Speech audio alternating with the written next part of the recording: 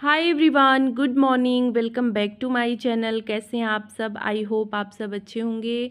तो आज है होली का दिन। आप सभी को होली की ढेर सारी शुभकामनाएँ। आप सभी के जीवन में ढेर सारी खुशियों का रंग भरा रहे। ईश्वर की कृपा सदा आप पे बनी रहे। तो होली की शुरुआत सबसे पहले की है मैंने। यही भगवान जी लोग के साथ तो पूजा की है और सभी भगवान जी लोग को जो है अबीर लगा दिया है। तो मेरी होली की शुरुआत ना इन्हीं लोगों के साथ होती है। सबसे पहले मैं जो है ये रंगों का त्यौहार पूजा के साथ ही स्टार्ट करती हूँ, जैसे भगवान जी लोग के साथ ही।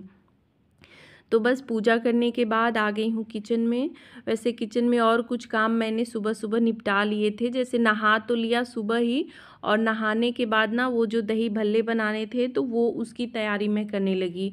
उसको पीसा और उड़द दाल वगैरह जो छिलके वाली थी तो वही धोने में टाइम लगा थोड़ा सा तो वो सब मैंने जल्दी जल्दी किया, पीस दिया और इन्हें दे दिया कि ये थोड़ा सा आप जो है उसको फेंटना होता है ना तो इन्होंने फेंटा और छानने का भी काम इन्होंने ही किया। मैं कढ़ाई में डालते गई और ये जो है फ्राई करते गए बीच बीच में मैंने वही मसाले, दही भल्ले का और ग्रीन वाली चटनी, ये सारा कुछ मैंने तैयारी किया। तो थोड़ा सा ना उठने में आज लेट हो गया, वही कल की थकान मतलब दो दिन से तो थकान हावी है।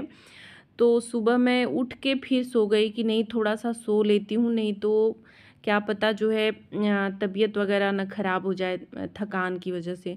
तो थोड़ा सा लेट हुई तो काम थोड़ा जल्दी जल्दी करना पड़ा। तो सुबह मैंने कोई वीडियो नहीं बनाया मतलब वो बनाते समय।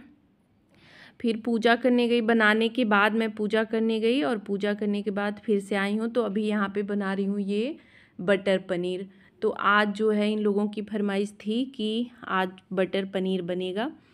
तो वही इधर कढ़ाई में मसाले डाले हैं। टमाटर वगैरह डाला है अभी।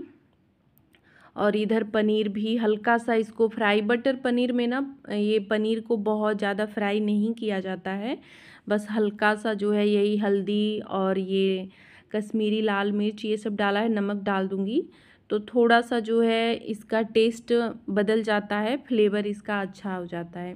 यहाँ पे मसाले मैंने डाल दिए हैं और अभी इसके बाद ना इसमें जो है दही और ये काजू का पेस्ट, ये सब पीस लिया है मैंने।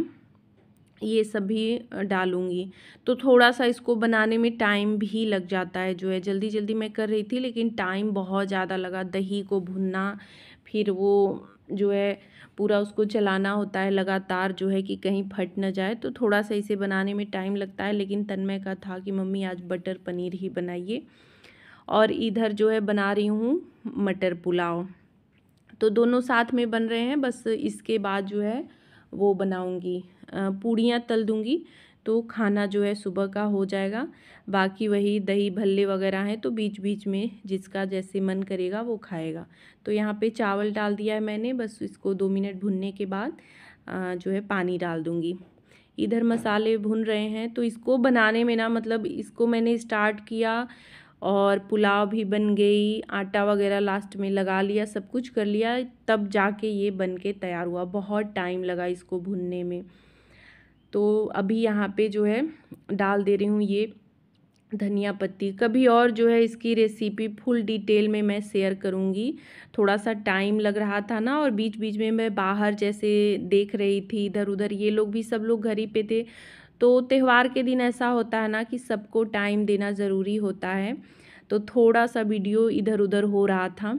तो यहाँ पे सब्ज़ी बन के तैयार हो गई है और देख ही रहे हैं कितना अच्छा टेस्ट भी इसका इतना अच्छा आया था ना कि मतलब एकदम ये लोग तो बोल रहे थे कि बिल्कुल रेस्टोरेंट जैसा टेस्ट इसका आ रहा है, बिल्कुल लग ही नहीं रहा है कि घर पे बना हुआ है।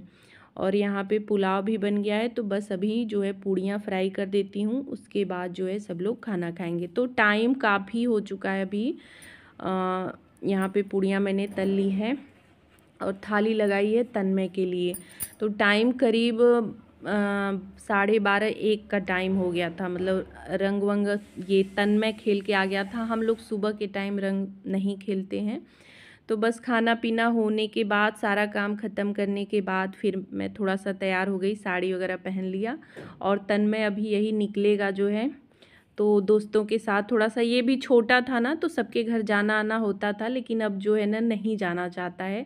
तो बस वही दोस्तों के साथ थोड़ा सा घूमना फिरना अपना करता है। तो बहुत ज़्यादा लोग नहीं आते जाते हैं घर पे भी। जैसे नीचे तो जैसे आदमी लोग आते हैं, वो भी बहुत ज़्यादा नहीं।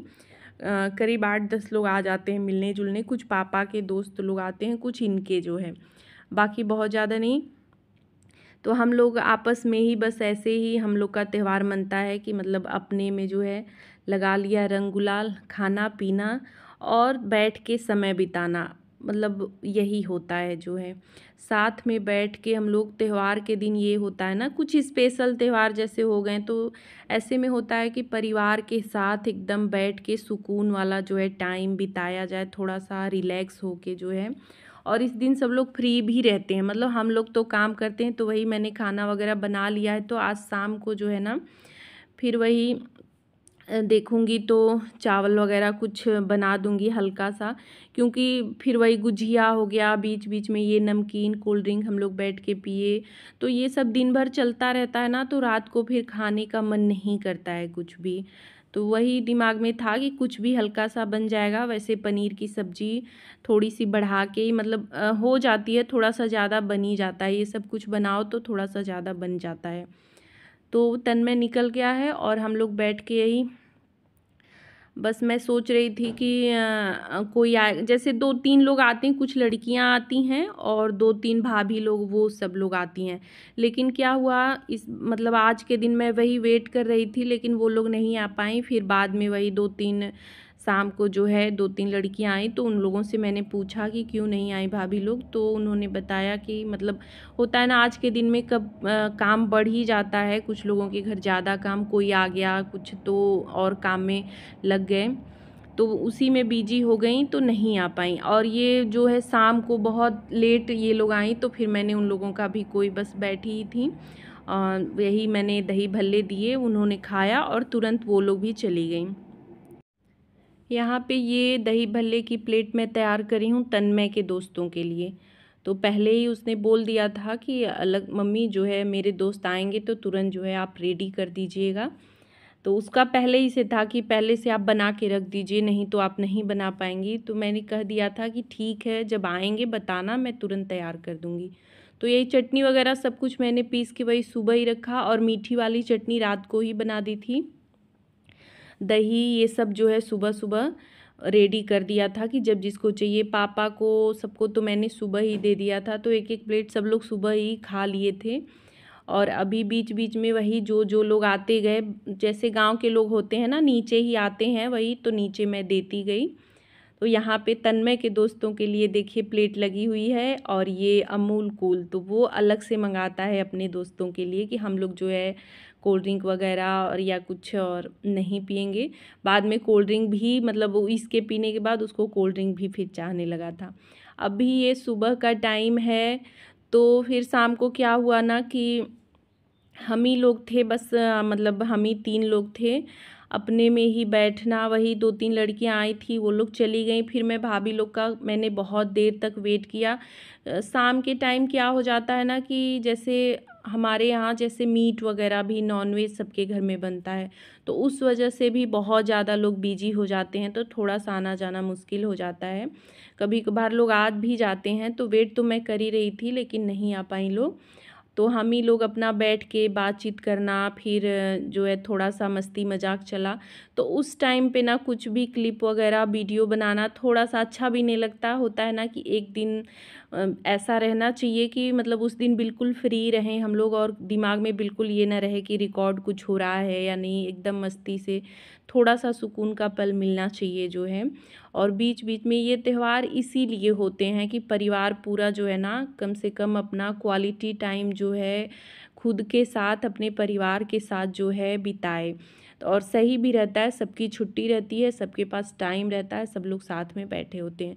तो सुबह के टाइम अभी जो है वही रूटीन स्टार्ट हो गया। सुबह मैं उठी, नहाई तो नहीं थोड़ा सा आलस आ रहा था। और त्योहारों के सुबह ना अजीब सा ही हो जाता है। बहुत नीरस जैसे लगता है। सुबह कुछ करने का मन नहीं करता है। लेकिन इनको जाना था। हाफ़ डे आज है। छुट्टी का दिन ही है, लेकिन हाफ़ डे मतलब बारह एक बजे तक आ जाएँगे। तो बस उठी और खाना बनाया कि काम तो करना ही है तो लेट करने से क्या फ़ायदा? तो ये जा चुके हैं अभी। उसके बाद किचन क्लीन किया मैंने। और ये अभी सारे बर्तन वगैरह जो भी थे धुल लिए और कुछ क्रॉकरी वाले थे, वो तो रात को ही मैंने साफ़ कर लिया था। बर्तन वगैरह, किचन ये सब मैंने रात को ही ना साफ़ कर लिया था कि सुबह थोड़ा ज़्यादा काम जो है ना रहे। ये मिक्सर ग्राइंडर ना, ये भी जो है कल चटनी और ये सब पीसने में ना बहुत ज़्यादा गंदा हो गया। परसों से इसका इस्तेमाल ज़्यादा हो रहा था तो इसको भी धो दिया। तो इस तरह से मनाया हमने अपना होली का त्यौहार। और वीडियो का एंड भी यहीं पे कर रही हूँ। आज का ब्लॉग अच्छा लगा हो तो प्लीज़ वीडियो को लाइक, शेयर और चैनल को सब्सक्राइब करिएगा। मिलूँगी नेक्स्ट वीडियो में। Bye bye thanks for watching.